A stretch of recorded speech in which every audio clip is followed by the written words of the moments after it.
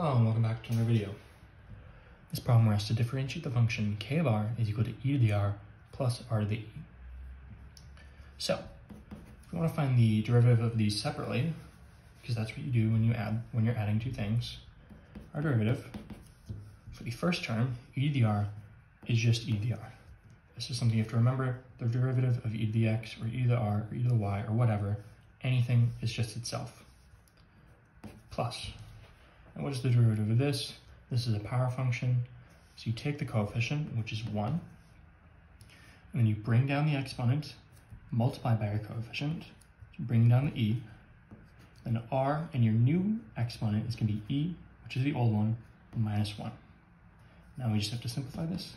k prime of r is equal to e to the r, still staying the same, plus 1 times e is e, times r to the e minus 1. There's no way to simplify that, just leave it as it is, and that's going to be your final answer. As always, thank you for liking and subscribing, and I'll see you in the next video.